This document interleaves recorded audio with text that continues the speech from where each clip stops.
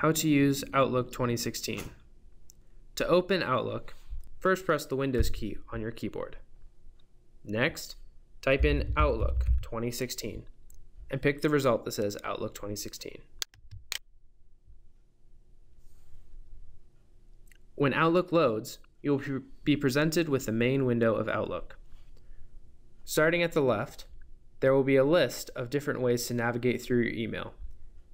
Selecting on different things in the list will allow you to open your inbox, drafts, sent items, and deleted emails, for example.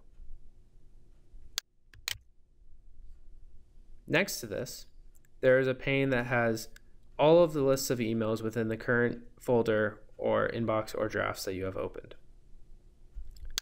You can select on these emails delete them by clicking on the delete X, mark emails as flagged,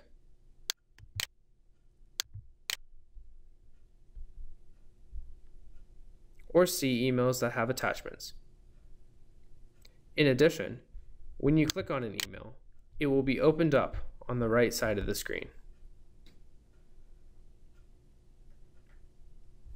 You can also navigate Outlook more using items on the ribbon. There are different menus such as being able to send and receive all emails within your email account, opening different folders,